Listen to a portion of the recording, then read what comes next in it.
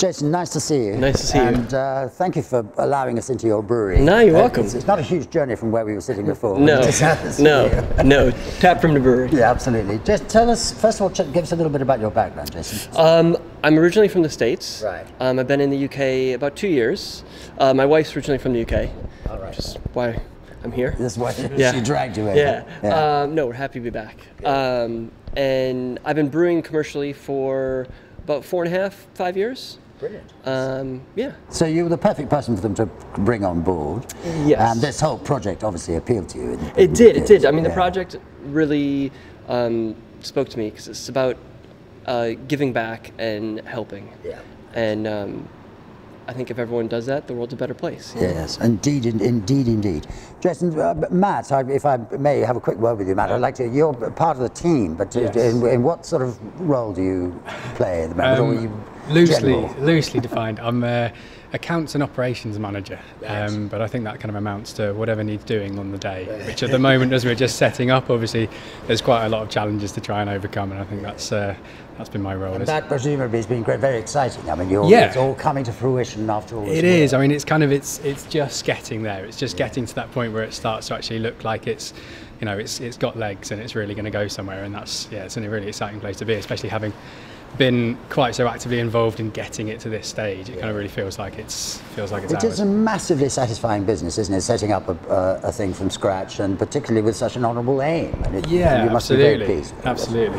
Well, it's very exciting. Now, Jason, I wonder if you'd do me a favour because Yes. I'd love. I know very little about the brewing process, and it would be fun just to go through it if you could. If you Yeah. can tell me where. Yeah. I'm gonna, Well, so the brewing process starts with our grain, right. right? So we take our grain and uh, our base malt, Yeah. which makes up uh, 80 to 100% of the brew. Right. And then we mix it with our specialty malts.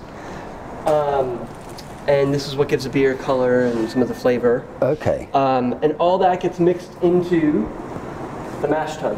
right. And uh, so the mash tun where we mix our hot water, liquor, we call it in the brewing industry, um, with our grain. Right. And then we let it steep for a set amount of time, depending on the type of beer uh, that we want to make. Right. We get our hot liquor Yep. from our hot liquor tank, Yeah. which is this tank here.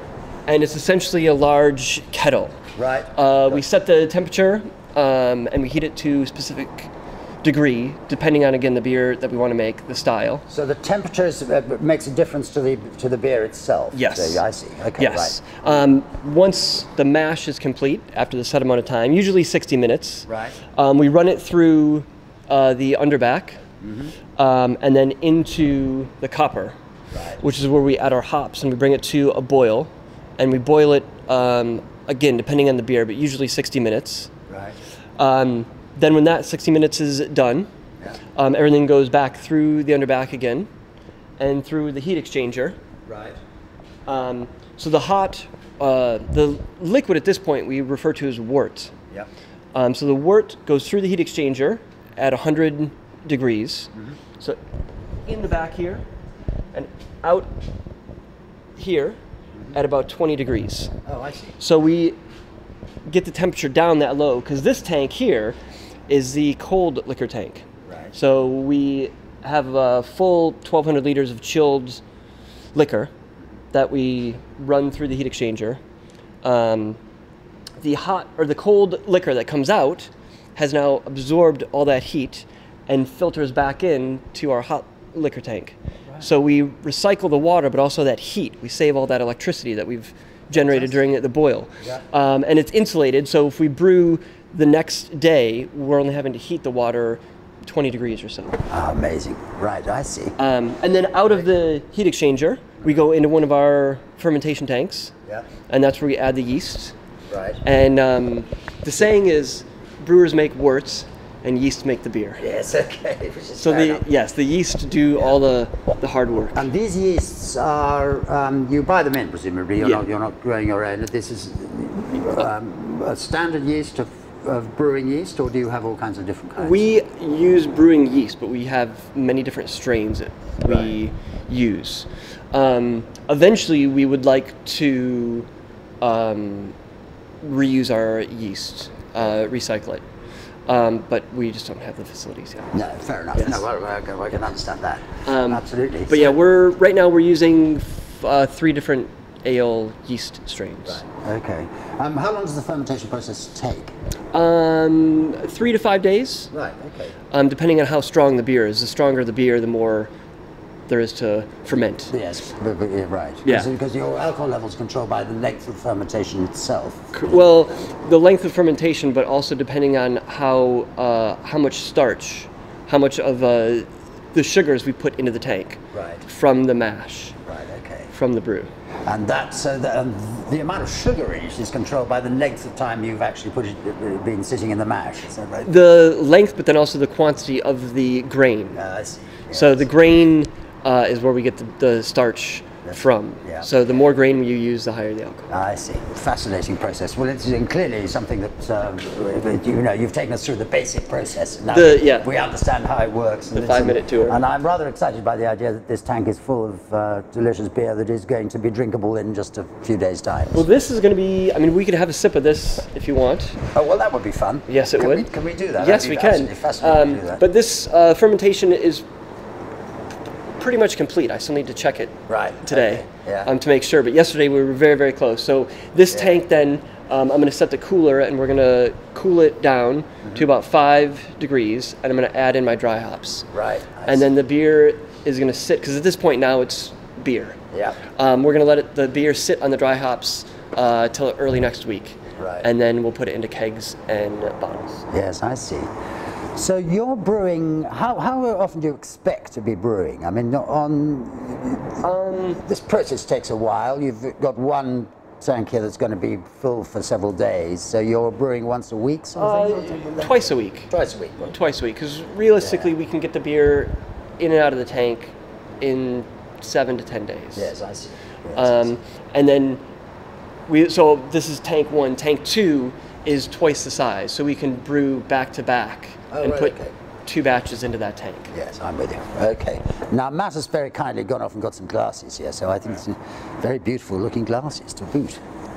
This is a wonderful thing about all drink makers, is that they have a little tap Yes. that no one can Well, It's wonderful. The This. perks of the job. Yeah, I think it's very, absolutely essential. So uh, the beer, when it comes out, is going to be um, extremely cloudy 'cause it's still full of yeast. Yeah. Um, but it's got a little bit of carbonation, which is nice. Yeah. Um, That is wonderful. The smell is just magnificent. I didn't get you, did I? No, no, don't, anyway, it doesn't matter. I don't mind. If I go home smelling a beer, it's no problem Yes. for me. Isn't that wonderful? That's an absolutely wonderful smell. Thank you. And there's, it's, I mean, this is a, the, the incredible thing about brewing is that when it's done by an expert, it's wonderful at almost every stage. Whereas if it's done by a, some, a sort of hopeless amateur like me, it somehow always smells disgusting. But, but that is just wonderful. Mm, say, this is amazing. So once you've put it in a keg, Yes. uh, that will then last a while, presumably, will it? Yes. So um, the keg life is about nine months. No, yes, okay. Yeah. So that, that's So- good. Are the kegs under pressure? Is that is that the form or they? They are, but we're we're using um, a new type of keg. It's called a KeyKeg. right. Um, and so the beer goes into um, a bag, and the uh, carbon dioxide, the CO2 that we're using, Yeah. doesn't ever come in contact with the beer. I see. So we have um, a secondary fermentation, just like you would in a cask ale, Yeah. in the keg. Right. Um, we're just using CO2 to squeeze the bag. That's very clever. So the CO2 is round the outside of the bag. Right. and never never touches the beer Um, itself. so It's clever. technically, unless you're a very purist, which most people are, and that's Yes, fantastic, yeah. it's still a real ale. Yeah. Yeah. Um, because it doesn't come in contact with the CO2. We still do use gas to help it out. yeah. Um, I can. I, I, I get the picture. That Yes. it gives you- it gives you a, um, a much less of a danger of wastage and and uh, and, a, and a great and a great opportunity to keep your beer as fresh and as clean as possible. yes. Yeah. Yeah. Absolutely delicious. Thank you. Well, Matt, I think you ought to have a little taste of this. At the very least, you ought to have a taste of this. I think that's Cheers. absolutely fantastic.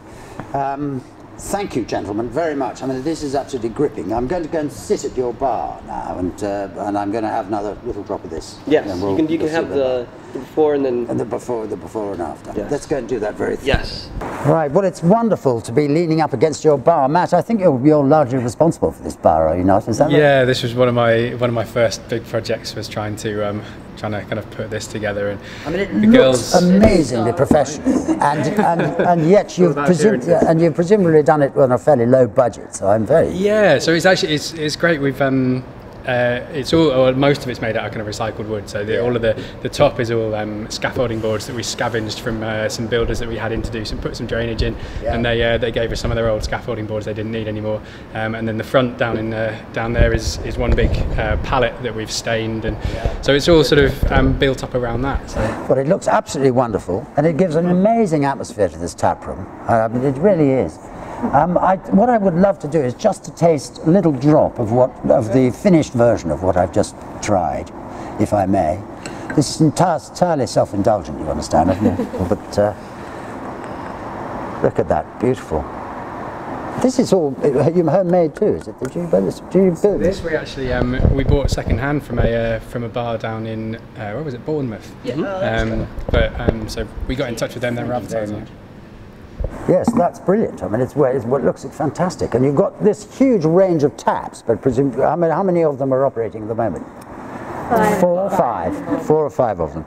Well, I'm going to drink a toast to you all. I wish you the very, very best of luck with this project. I think it's absolutely fantastic, and there are going to be so many people who are going to be grateful to you for the rest of their lives. I think it's fantastic. Cheers. Here's to you all. Very nice to see you.